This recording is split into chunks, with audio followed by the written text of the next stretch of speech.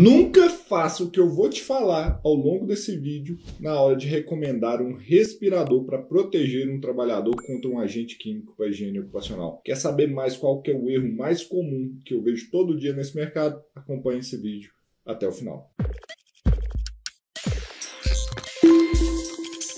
Leandro, eu peguei a FISP que do produto químico e lá fala para usar uma máscara facial inteira com filtro. Na que está falando para usar uma máscara facial inteira com filtro de carvão P1, etc. E aí, como que você faz para recomendar o respirador? A primeira coisa que eu quero te falar aqui, ó, esquece a FISP.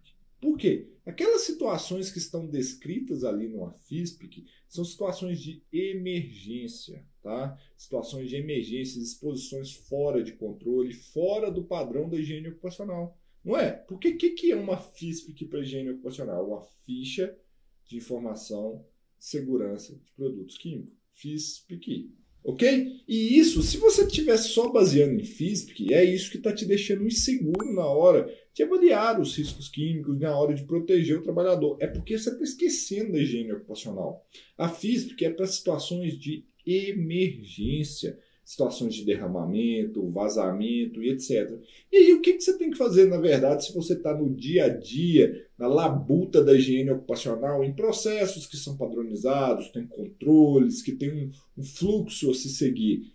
É ali que você tem que aplicar a FIS, porque você tem que vir antes. Antes de você pensar em respirador, você tem que pensar na higiene ocupacional. O maior erro que acontece, igual falei lá no meu Instagram, né, no arroba Leandro Magalhães, underline oficial, vira e mexe as pessoas chegam e me perguntam ah, qual respirador eu indico para a situação tal, tal, tal. É esquecer que antes de você aplicar os controles, você tem que ter feito as etapas prévias da higiene ocupacional, que é antecipar o risco, ou seja, não deixar o risco ocorrer antes mesmo dele entrar, né, aquele produto químico entrar no ambiente de trabalho, entrar no processo, depois reconhecer o risco, saber qual que é o agente, qual a magnitude daquele risco, qual que é a severidade dos danos que podem ser causados, qual que é a severidade dos danos que podem ser causados, para aí a gente começar a trabalhar com as avaliações, porque aí com as avaliações a gente vai estimar a concentração do agente químico e comparar com o limite de exposição ocupacional, para aí aplicar os controles, que sim pode ser um respirador.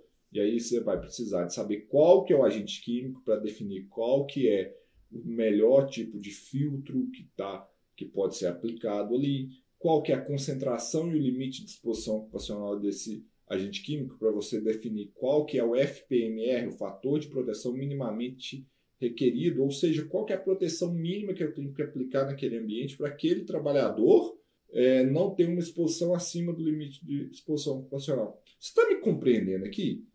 O grande problema que está acontecendo, e isso vira e mexe ocorre nesse mercado é que tem um monte de profissional que está despreparado, que não tem os conhecimentos básicos da higiene ocupacional, que é antecipar, reconhecer, avaliar, para aí começar a controlar o risco. E aí as pessoas ficam inseguras, sem saber o que fazer, ficam perdidos, e aí começa a meter o pé pelas mãos.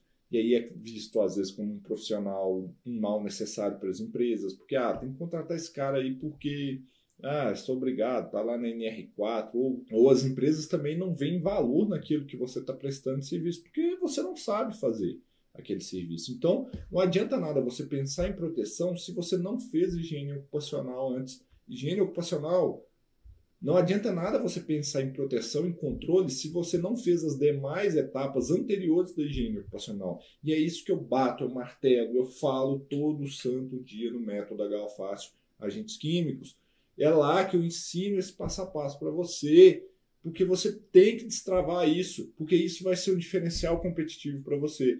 Isso é relato de, das centenas de alunos que a gente tem lá que falam, quando eu aplico o que o Leandro fala no método da Galface Agentes Químicos, eu fico mais seguro, eu tenho mais segurança, eu fico seguro em avaliar qualquer risco químico para a higiene ocupacional. E, consequentemente, a carreira desses profissionais também é transformada. Como assim é transformada? Eles passam a ganhar pelo menos 50% a mais de que quando eles começaram o treinamento. Por quê? Eles têm um diferencial de mercado. Quando eles vão conversar com um empresário, com uma empresa que eles vão prestar serviço, a empresa busca nesse profissional a segurança e ele consegue explicar o que está fazendo diferente da grande maioria do mercado que não sabe o que está fazendo, está lá recomendando, por exemplo, respirador, sem saber qual é o risco que está no ambiente, apenas seguindo a FISP e nada, nada, nada, nada que realmente seja eficaz para na hora de proteger o trabalhador.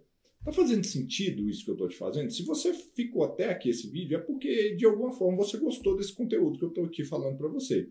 E isso é primordial para você ser um profissional de destaque nesse mercado. E se você está gostando desse conteúdo, eu só quero te pedir uma coisa. Eu quero te pedir que você deixe um like aqui nesse vídeo, aperta esse joinha aqui que está aqui embaixo desse vídeo e também compartilhe esse vídeo em um grupo do WhatsApp que você participa aí de segurança do trabalho vai ser muito útil para os demais profissionais e eu também vou ficar muito agradecido a você por ter feito esse favor para mim, levar essa mensagem a mais, a mais pessoas. É só clicar em compartilhar aqui embaixo e mandar num grupo aí e falar para o pessoal assistir esse vídeo. E aí, então, o que, que a gente pode resumir concluir a partir de agora nesse processo aqui de é, recomendação de um respirador para higiene ocupacional? A primeira coisa você tem que pensar: vou recomendar um respirador? volta. Você não tem que pensar nisso. A primeira coisa que você tem que pensar é as etapas da higiene ocupacional, que são antecipação, reconhecimento, avaliação e controle. Quando você recomenda um respirador, você já está lá na última etapa de controle. Você teria que ter feito as outras quatro etapas antes, antecipar o risco, ou seja, agir para eliminar o risco antes que ele entra, ou colocar alguma medida de controle, uma barreira, um sistema de exaustão, antes desse risco entrar no ambiente, mudar o layout, por exemplo, isso é antecipação. Depois, se furou a etapa de antecipação, você vai reconhecer o risco, saber qual que é o agente, qual que é a magnitude desse risco, a severidade desse risco, se você faz o reconhecimento de risco, para depois você avaliar, ou seja, estimar a concentração daquele agente para você comparar com o limite de exposição ocupacional. Feito isso, agora você tem as informações necessárias para a recomendação de um respirador. E detalhe, você não pode recomendar um respirador e pronto, você tem que implementar um programa de proteção respiratória, um PPR. Então não cometa o erro de recomendar um respirador no seu PGR, por exemplo. Na verdade, no seu PGR você tem que recomendar a implementação de um programa de proteção respiratória. Mas o recado desse vídeo aqui é: não pule etapas. Higiene ocupacional, você tem que fazer antecipação, depois reconhecimento, avaliação e controle. Então, pegar uma FISP e ir lá no item que fala de proteção individual e falar assim: nossa, mas a FISP está mandando usar uma máscara autônoma Mega Blaster. Você tem que lembrar que na FISP é uma situação de emergência, não é uma situação rotineira do cotidiano de um processo. Ali é um caso de emergência que a gente tem que proteger o trabalhador. Nas situações corriqueiras do dia a dia, cabe o higienista ocupacional fazer esse trabalho. Você tem que entender todo esse processo de reconhecimento, avaliação e controle, e isso vai fazer diferença para você. Você pode transformar sua carreira na higiene ocupacional, se tornando mais seguro e ganhando pelo menos 50% a mais do que os demais profissionais, desde que você tenha o conhecimento correto. Um grande abraço e até o próximo vídeo.